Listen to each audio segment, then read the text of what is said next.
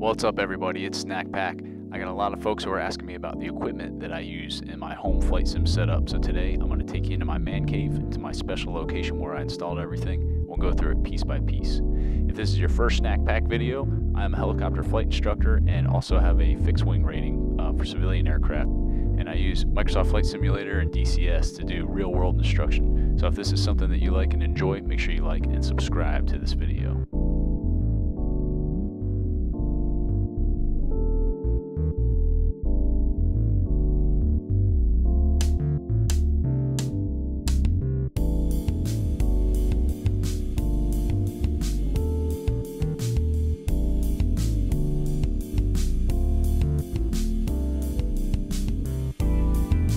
Starting with the brains of the operation, here's my PC. I've got the Aorus Z690 Pro chipset.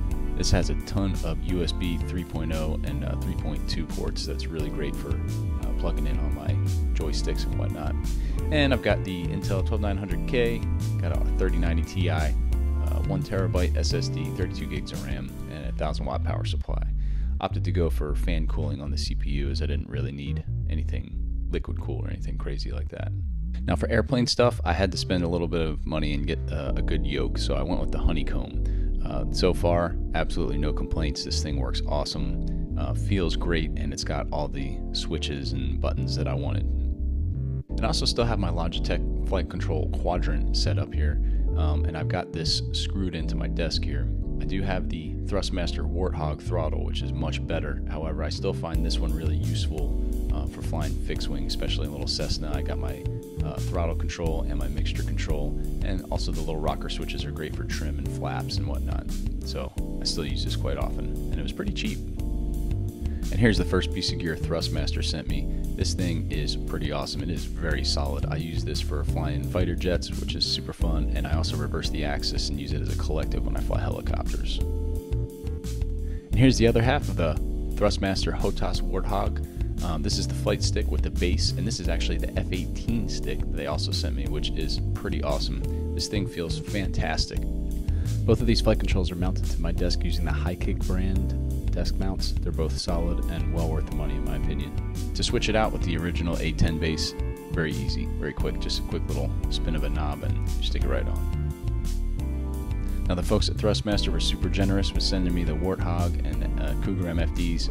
Um, they were out of the Thrustmaster pedals, so I'm still currently using the Saitek, uh, Logitech Saitek pedals, and they're doing great so far. Uh, I really like them. They feel they feel just fine. I'm sure there's much more fancy stuff out there, but these work great for rudder control, and I have brake control, which is awesome. So as far as screens go, um, I just have a 1080p uh, main screen here. It's a 32 inch screen and this is a Samsung. It's actually a Samsung uh, monitor slash smart TV. So I can, uh, it's got a little remote. I can watch TV on it too. Um, but this thing is awesome considering that I got it for 75 bucks brand new. Um, it was actually a floor model at Walmart um, that was already reduced down to about 150 and uh, since it was the floor model I talked him down uh, to a 50% off. And it's actually the second time I've done that. So if you ever see floor models on clearance at Walmart usually you can talk them down to about 50% off. Pretty awesome. There's a link to this in the description, but this is probably my favorite part of the whole sim setup. So Thrustmaster sent me their Cougar MFDs, uh, but they don't have screens, they just have buttons, and I wasn't quite sure what to do with it. However, there's a really cool video where it uh, shows you how to buy some LCD screens, and you have to 3D print a housing for it. So I 3D printed the housing and bought the screens and put it all together.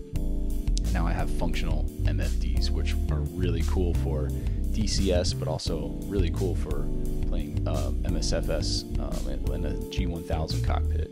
So you see I've got the buttons set up to where I can change comm frequencies, can change nav frequencies. On the first MFD I have it set up for my autopilot functions and really whatever you want to bind. So you can make some really cool binding profiles and it's very handy to have these right in front of you. Here's a side view where you can see the MFD 3D printed housing and uh, the little circuit board kind of sticking out there off the side where everything plugs into.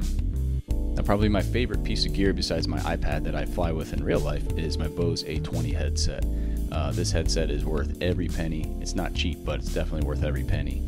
And uh, I had to find a way to incorporate it into the sim. So you can see on the left there, there's a little spot for it to plug into. It's a GA plug-in headset that's actually a USB uh, plug-in for your general aviation headset.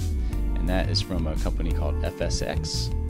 So here you can see the FSX Solo. I think they're based out of New Zealand, so it takes a little while to ship, but uh, it's definitely worth it. In the center, I have a 3D printed bracket that I designed in Blender and printed out to mount it onto the bottom of my desk. And on the right, there is a headset mount uh, that I got off Thingiverse that I printed out. It's even got a 3D printed screw that works really well. And then here I've got my VR controllers hanging on by some little hooks and here's a little lamp I got from a store called Dirt Cheap for 10 bucks. And we got room for some charging cables and of course room for the Dark Lord straight from Galaxy's Edge. And I've got my Xbox 360 controller here, which I use for uh, drone camera control in Microsoft Flight Simulator and for getting absolutely wrecked in Call of Duty. Um, I've also printed out a nice little uh, Xbox 360 controller stand. I also got a Thingiverse and uh, just have that attached to the table with some double-sided tape. Makes a nice little mount for it. This is the webcam I use. This is the Elgato Facecam. It's a 1080p camera that's capable of 60 FPS. Uh, there is a 4K version available for three times the cost. It's really hard to find. I use this to record myself on a regular basis and also for face tracking. And what I really like is it's got a little lens cap so that the CIA can't spy on me. Now on the top shelf here, I've got my HP Reverb G2 VR headset and I've got that extra flight stick. There's the F-18 flight stick for the Thrustmaster HOTAS Warthog. Here's a cool little uh, impossible table design I found on Thingiverse that I printed out. A basket with accessories, and there's that case for my Bose A12. Now, here I've got some interesting things for cable management. This uh, is just a little, I can't remember what it's called, but basically you just use a hole saw, drill a hole in your desk, and then you can feed cables through this. Uh, cable management is extremely important when you have this many things to plug in. And we'll take a look at the bottom here. You can see more beautiful cable management, mostly made up of zip ties. And also these little cable management clips that I found you can get like 10 of these for about a dollar. They're extremely, extremely useful. And here's where I have my Cat 6 cable plugged in. You can also see to the right where I shamefully drilled a hole in my wall at the wrong spot, and in between where I screwed up the wall even more. But I do have Ethernet, and my internet is over 300 megabits per second, which is fantastic. As far as keyboard and mouse go, I just went cheap with this as like a $20 little wireless Logitech setup, and I uh, didn't need anything too fancy. But what's interesting is how I incorporated this. So you can see I've got a little modular setup that I built just out of wood and these little cabinet catches so the stand comes right off, the MFD assembly pops right off. And you'll see I actually use the uh, native screws for the honeycomb yoke. These are installed on the top and I assume they're meant for mounting things. So there's a better look at those screws. And then these things just kind of clip right on in a modular fashion.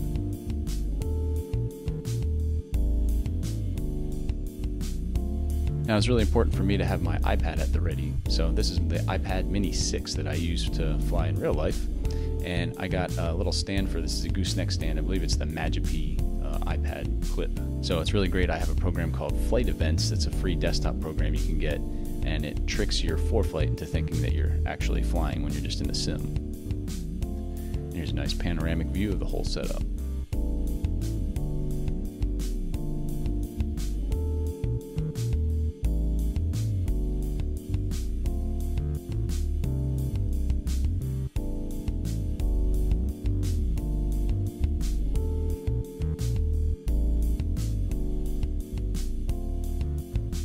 And when you're done, we can just close the doors and nobody even knows it's there.